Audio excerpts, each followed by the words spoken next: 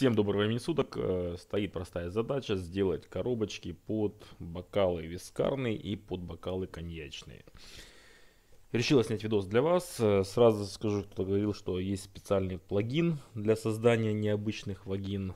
Э, здесь поясню следующую информацию. То есть кто-то из подписчиков предлагает воспользоваться плагином по автоматизации создания этих коробочек, который рассчитывает шип-пазы и всякую лабуду и потом его якобы доредактировать, так как мне это неудобно. Но а, поясню следующую ситуацию. А, это из той серии купить а, кривой дом и потом его ремонтировать, делать из него правильный дом. Я таким не занимаюсь, такого как бы, ну, и всем не пожелаю. Ладно, суть не в этом, суть в другом. Коробочки будут квадратные у нас, под один бокал. Делаем размером 100 на 100 миллиметров. Это будет в горизонтали у нас. Пишем 100 на 100 миллиметров.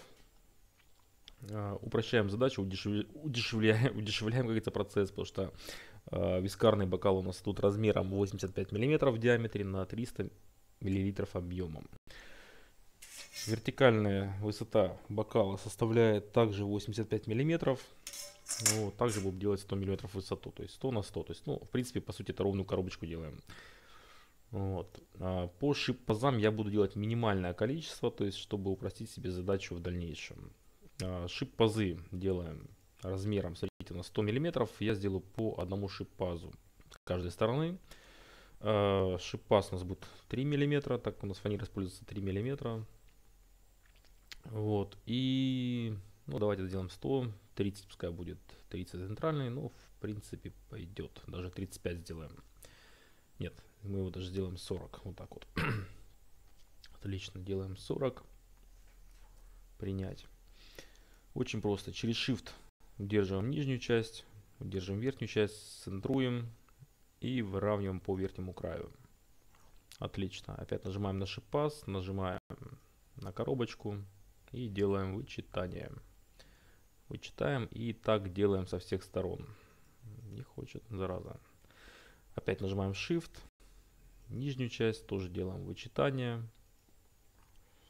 То же самое делаем с боковыми сторонами. Центруем, разворачиваем на 90 градусов, принять, опять через Shift, выделяем вторую часть, выравниваем, на всякий случай центруем и делаем вычитание. И то же самое делаем с другой стороной, все то же самое. И делаем вычитание. А, по сути, мне этот шип-пас уже не нужен здесь будет. Вот, Хотя, в принципе, в принципе, смотрите, у нас вообще будет прикольная тема в том, что мы э, в том, что мы сделаем вообще прикольную коробочку. Мы сделаем и низ, и верх абсолютно одинаковый. И при сборке у нас вообще не будет голова болеть, э, какая сторона кому относится, низ, верх, то есть вообще без головников. Э, в этом, кстати, будет огромный плюс. Дальше. Боковая часть у нас тоже будет 100 на 100. То есть рисуем квадрат.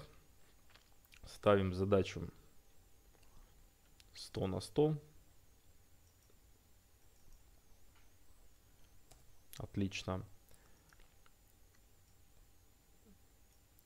А, что мы здесь делаем? То есть, в принципе, здесь будет все очень просто.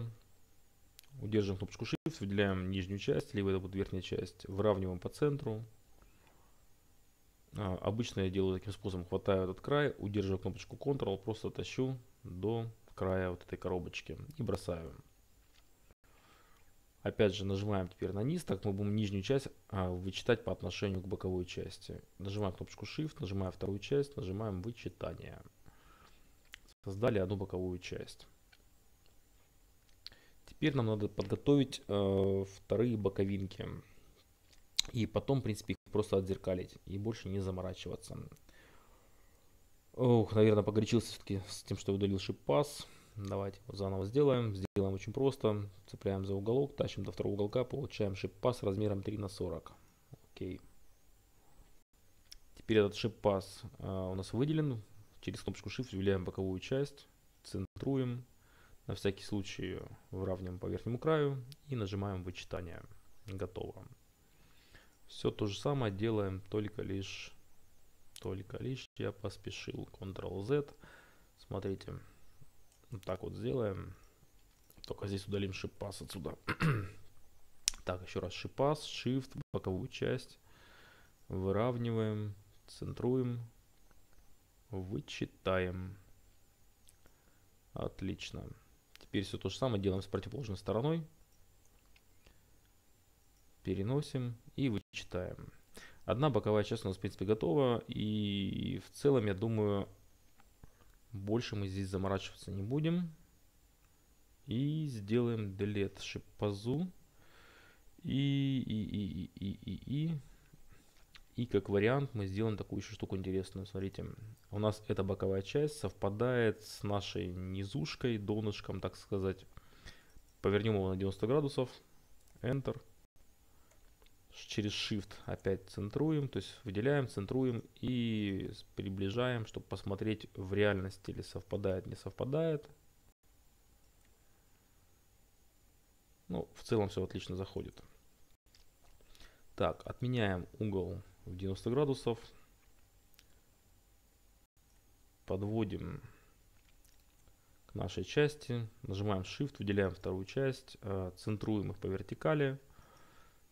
Подтаскиваем, как говорится, в нужную позицию. Через удержание кнопочки Ctrl бросаем. А так мы будем вычитать вот эту боковушку от другой боковушки. Через Shift выделяем их обоих. То есть по порядку э, ту, которую мы будем вычитать, и с той, которую будем вычитать. И нажимаем, нажимаем вычитание готово. Все то же самое делаем с другой стороны.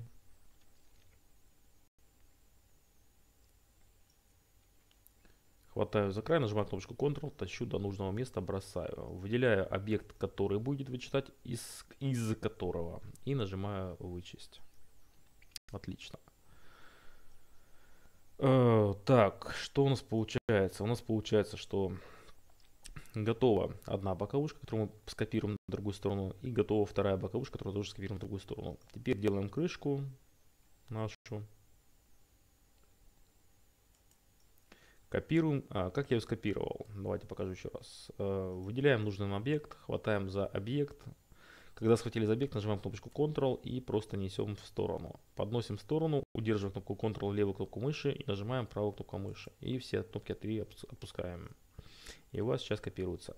А, теперь нам надо эту крышку вычесть из боковушки.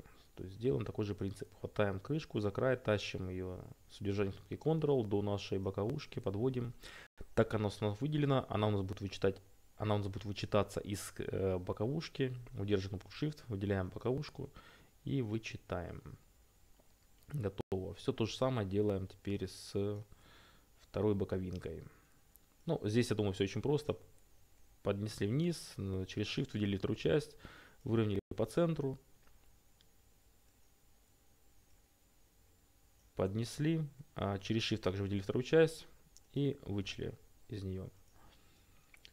Что здесь не хватает в целом? Не хватает только единственная лишь вещи, это нам надо сделать э, вырезы под пальцы, чтобы коробочки легко открывались. Э, вырезы, по-моему, я делал размером, сейчас скажу вам, 25 миллиметров. Больше они там не нужны, любые туда жирные пальцы залезут э, при желании, поэтому я считаю это нормально. Э, кругляшок через удерживание кнопки Ctrl, создаем кругляшок, пишем размер 25 миллиметров. Окей, нажимаем стрелочку, кругляшок э, ставим где-нибудь в этом районе, нажимаем кнопку Shift, выделяем боковушку, центруем по горизонтали, хватаем кругляшок за центр, нажимаем кнопку Ctrl и тащим ее до позиции верхней крышки. Удерживаем кругляшок, нажимаем кнопку Shift, выделяем боковую часть и нажимаем вычесть. Готово. Все то же самое делаем теперь на нижней боковушке. И нажимаем кнопочку, правую кнопку мыши. Удерживаем кнопку Shift, выделяем боковушку вторую и делаем вычитание. Теперь удаляем лишние объекты с нашего рабочего стола. А, что мы делаем? Подводим нашу боковушку, разворачиваем ее под углом 270 градусов. Цепляем боковушку, нажимаем кнопку Ctrl, дальше на другую сторону и правую кнопку мыши, тем самым клонируем ее, делаем зеркальное отражение и делаем все то же самое со второй частью. И делаем зеркальное отражение. Вот такая вот коробочка для вискарных бокалов, буквально всего лишь за 10 минут. Никаких плагинов, э, коробочка сделана под наши нужды, под наши требования, то есть она всему соответствует, шип-пазы, минимально деталей, все качественно, все совпадает с низом, с верхом, никаких геморроев, даже если вы перепутаете склеивание нижней части от верхней части, это не смертельно, есть удобные вырезы под пальцы, то, что не сделать никогда в жизни ни один плагин. Это был один вариант коробки под Viscari. Сохраняем Ctrl-Shift-S. Коробочка под... Угу. Коробочка под виски. 100 на 100 миллиметров.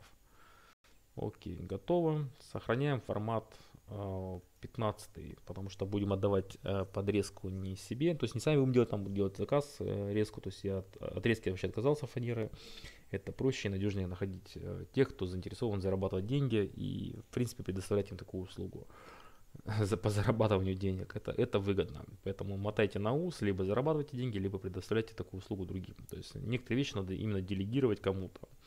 Сохраняем макет. Дальше. Дальше ситуация идет такая, что нам надо теперь создать коробочку ну, аналогичную, только лишь у нас коробочка будет идти под э, конечный бокал. Сейчас я его также померю сразу, потому что размеры я не снимал по коньяку. Так, по конечному бокалу. Ну, в целом все то же самое. То есть ничего здесь сверхъестественного нету. Единственное, у нас по конечному бокалу отличается лишь э, высота боковой стенки, потому что высота конечного бокала составляет 125 миллиметров. Вот, мы будем делать коробочку высотой 140 миллиметров. Высота коробочки будет 140 миллиметров. Здесь в данном макете единственное, у меня есть предположение, что ну, я бы, по крайней мере, сделал так. Э, макет я оставлю все как есть. Э, единственное, я удалю все боковушки полностью. И сделаю их под себя 140 миллиметров. Еще раз померю, чтобы наверняка уже. Надо еще дать запас на... Да, да, оптимальный вариант 140 миллиметров. Будет идеальная коробочка под конечный бокал. То есть сделаем теперь какую ситуацию. Рисуем квадратики. А, размер квадратиков будет 100 миллиметров на 140 миллиметров. Вот такие вот будут боковушки. А, сделаем все то же самое. Выделяем боковушку, выделяем через Shift вторую часть, нижнюю часть. Их центруем, подтаскиваем в нижнюю часть. А теперь нижнюю часть выделяем, выделяем через Shift вторую часть, делаем вычитание. А, одна боковушка готова. У боковушки сразу делаем а, прорези под шип-пазы. Чем их будет меньше, тем будет проще склеиваться с э, коробочкой с шип-пазами. Высота у нас 140. Э, делаем каким образом? Мы можем сделать 70 боковушку, плюс у нас остается по 35 с каждого края. Ну, в принципе, как бы оптимальный вариант. Единственное, может быть даже не 70, наверное, 60. 60, 140, э, так, 140 минус 60 получается у нас сколько? 80, 80 пополам по 40. Ну, в принципе, да, можно сделать 60. То есть пишем толщина у нас 3 мм шипаза, здесь пишем 60. Окей. А, то же самое, шипаз у нас выделен, нажимаем Shift, выделяем боковую часть, центруем по горизонтали и выравниваем по правому краю. Делаем вычитание, все то же самое делаем с левой стороны, делаем, о, поспешил, поспешил. Так, еще раз выделяем шип-пас, выделяем боковую часть, центруем по левому краю и делаем выделение, то есть вычитание. Так, э, это у нас часть готова. Единственное, сейчас сразу, чтобы не терять время впустую, я сделаю вырезку на верхней части нашей боковой коробочки, чтобы ее потом не, мур, не мурыжить, не таскать там вправо-влево по сто раз. Вот. Через Shift выделяем ее же и делаем вычитание. И вот эту часть мы удаляем, она нам больше не нужна будет здесь. И та же самая ситуация с шиппазом. То есть шиппаз мы тоже отсюда удаляем. Так, а, что мы теперь делаем? Что мы теперь делаем? Теперь мы делаем следующую боковую сторону.